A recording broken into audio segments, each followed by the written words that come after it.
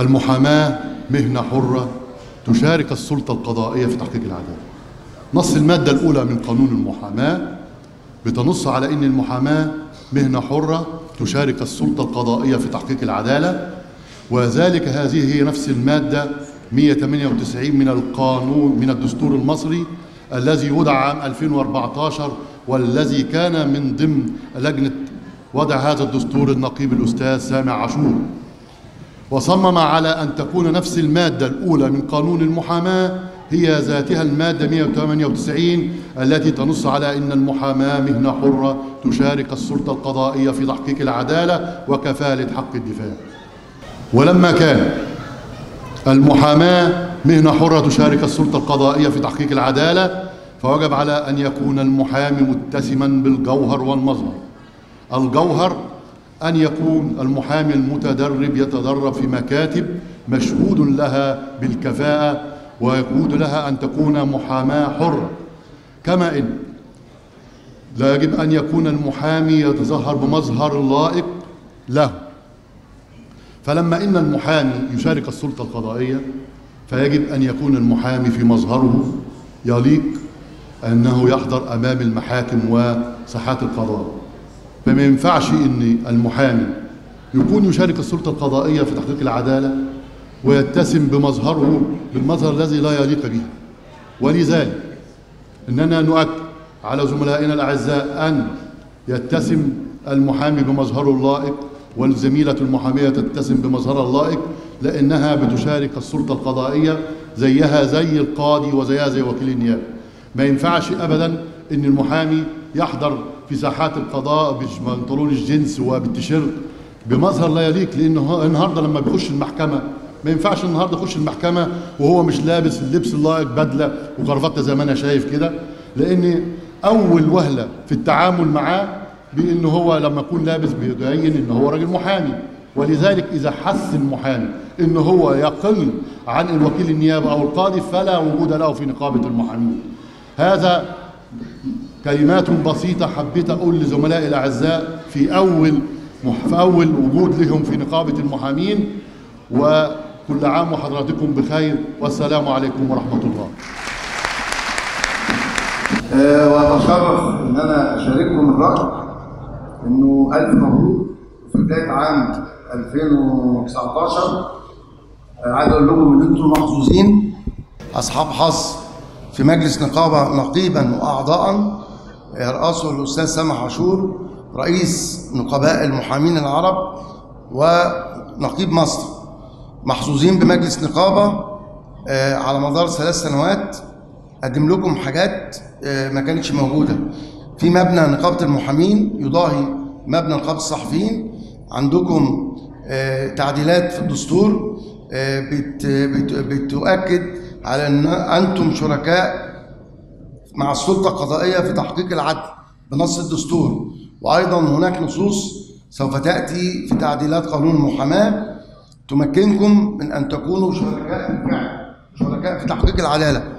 أنتم محظوظون أيضا بأن النقابة بتقدم لكم هذا العام مشروعات متعددة ثلاث مستشفيات على مستوى الجمهورية أحدث مستشفيات دولية. أشارككم في النصيحة الأخيرة أنتم غدا سوف تكونون من أعضاء مجلس النقابة البعض منكم.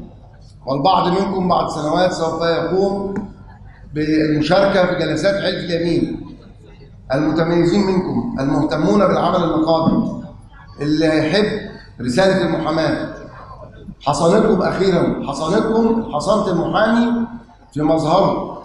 حصانة المحامي إنه يقرأ قانون المحاماة كويس. حصانة المحامي ألا يشارك رسالة المحاماة بمهنة أخرى سواء كانت وظيفة أو تجارة. أنتم محظوظين إن السنة دي لا يحمل كارنيه نقابة المحامين على مستوى مصر إلا من يمارس مهنة المحاماة.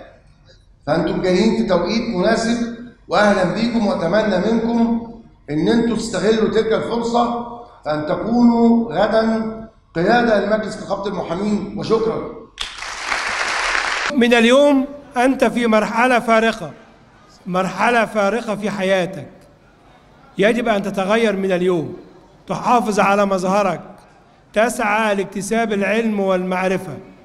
تجعل من يشاهدك يعلم أنك محامي دون أن يسألك من أنت وماذا تعمل.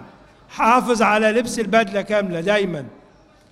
التحق بمكتب محاماة تتعلم منه المحاماة.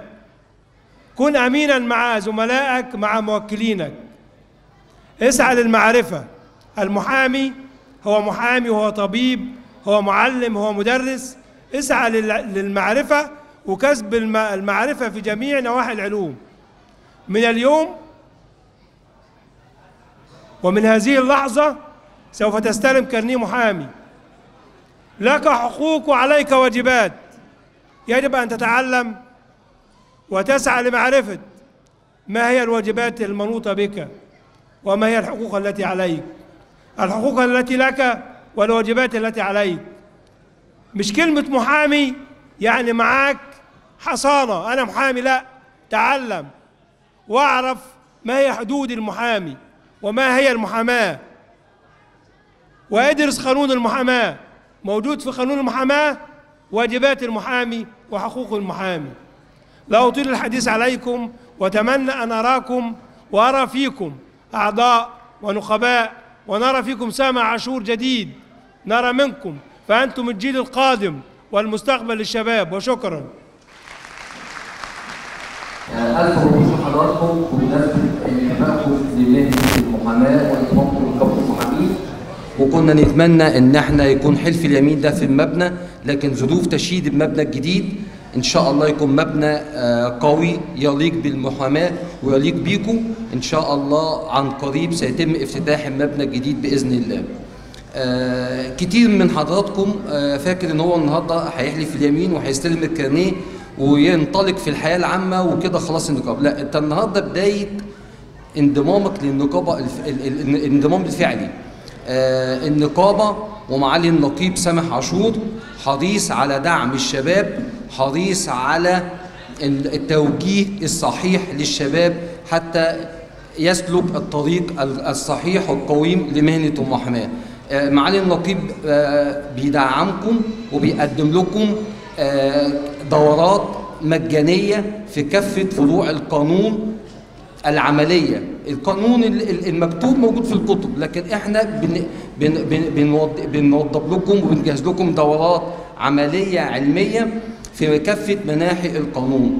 آخر دورة كنا عملنا لجنة الشؤون السياسية اللجنه دورة في شرح أحكام قانون الرياضة الجديد والتحكيم في المنازعات الرياضية وشرح عقود اللاعبين والمحترفين وده قانون جديد لسه طالع 2017 وبالتالي محتاج شرح محتاج ده مجال جديد للعمل بنفتحه لأبنائنا الشباب. عشان كده إن شاء الله الدورة الجديدة الجزء الثاني منها إحنا جاري التجهيز وهنعلن عن الموعد أرجوكم تابعوا الميعاد الجديد من خلال موقع النقابة.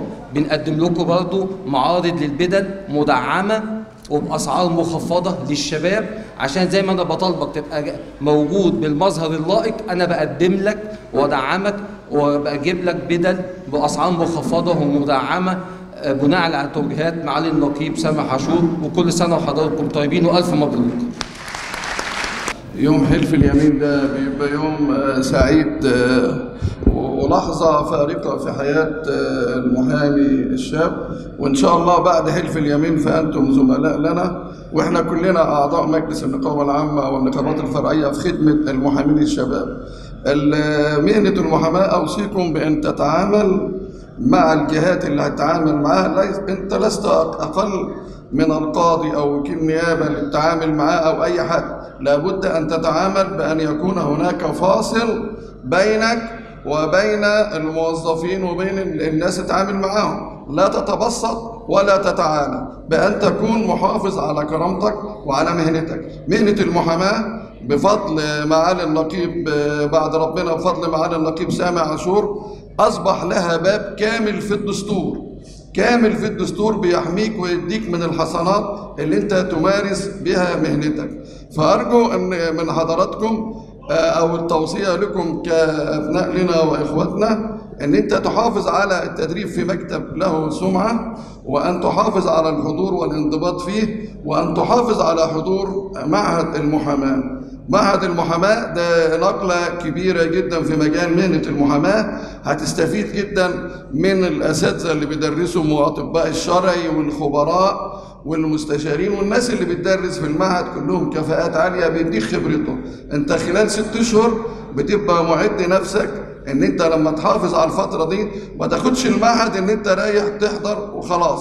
لا لازم تحضر المعهد وتستفيد. هتشوف ناس هتعلمك ال- الأساس تبدأ إزاي. وطالما البداية والمهنة إن شاء الله سهلة وإحنا بنرحب بكم وبنشرف بكم وتحت خدمتكم. في أي وقت والسلام عليكم ورحمة الله